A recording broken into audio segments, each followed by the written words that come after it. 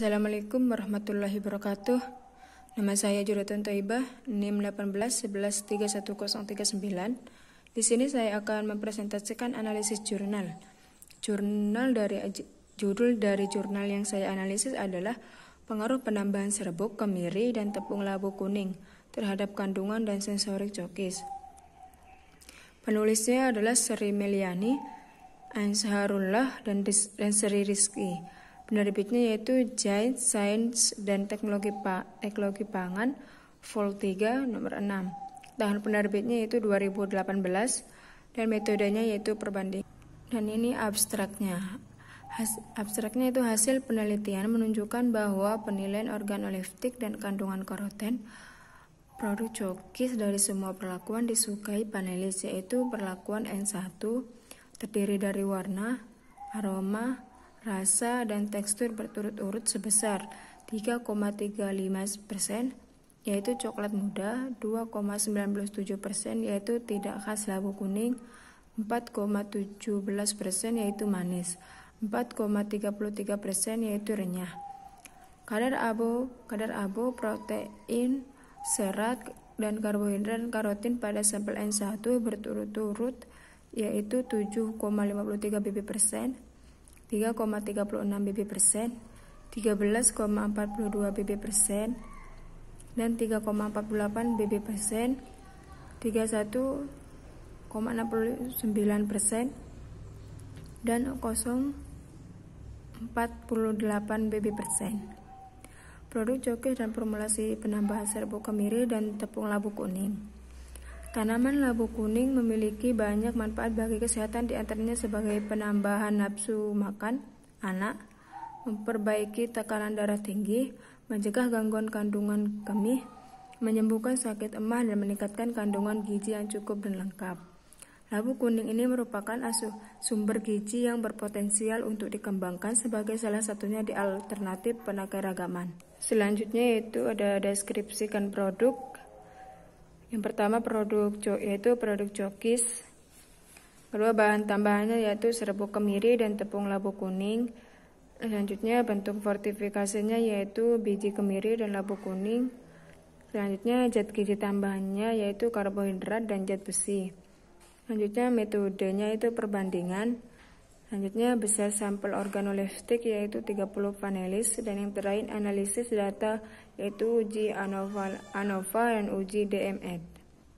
Dan ini ada tabel formulasinya yaitu formulasinya N1 100% dibanding 0%, N2 95% dibanding 5%, N3 90% dibanding 10%, N4 80% dibanding 15%, N5 80% banding 20%. Dan ini ada tabel formulasi formulasi resep. Yang pertama ada bahannya.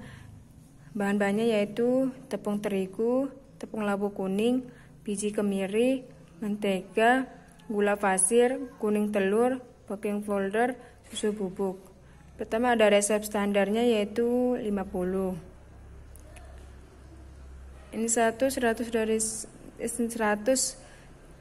ini satu 100% dari 50 yaitu 250 N2 95% dari 50 yaitu 237,5 N3 90% dari 50 yaitu 225 N4 80% dari 50 yaitu 212,5 N5 80% dari 50 yaitu 200 dan seterusnya.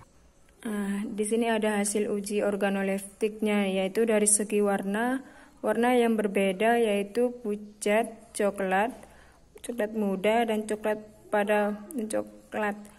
Pada penilaian organoleptik warna menunjukkan bahwa penilaian panelis berpengaruh sangat nyata yang berarti dapat dikatakan bahwa dikatakan kan bahwa semua semua perlakuan memiliki memiliki nampakan. Dari segi aroma yaitu aroma menunjukkan bahwa penilaian panelis berpengaruh tidak nyata. Penilaian panelis berpengaruh tidak nyata. Namun pada perlakuan N5 memiliki aroma kuas labu. Dan dari segi rasa yaitu penilaian panelis ter, terhadap rasa produk cokis berpengaruh tidak nyata yang yang berarti tidak dapat dikatakan bahwa semua perilaku memiliki rasa yang sama yaitu manis. Dari dari segi tekstur yaitu penilaian panelis terhadap tekstur produk berpengaruh tidak nyata yang berarti dapat dikatakan bahwa semua perilaku memiliki tekstur yang sama yaitu tidak tidak renyah. Nah, di sini selanjutnya yaitu kesimpulannya. Kesimpulannya itu tepung labu kuning dengan butiran halus berwarna putih kekuningan, berbau khas kuning, kadar air plus 30%, 13%. Kondisi fisik tepung labu kuning ini sangat dipengaruhi oleh kondisi bahan dasar dan suhu pengeringan yang digunakan semakin tua. Labu kuning semakin tinggi kandungan gulanya. Dan tepung labu kuning mempunyai spesifik dengan aroma khas Secara umum tepung tersebut berponti sebagai pendamping terigu dan tepung, berat sebagai olahan pangan sehingga lebih disukai oleh konsumen. Dan selanjutnya yaitu saran. Sarannya itu berdasarkan perlu dilakukan penelitian terhadap kajian pembuatan cokis, pem, penambahan biji kemiri dengan formulasi tepung labu kuning terhadap kandungan karoten dalam produk cokis dengan tujuan dihasilkan produk cikis cokis sehat dan bergizi serta berturut-turut akan di, akan melakukan pengembangan pangan untuk makanan sehat dan bergizi. Sekian dari presentasi dari saya kurang lebihnya mohon maaf. Assalamualaikum warahmatullahi wabarakatuh dan terima kasih.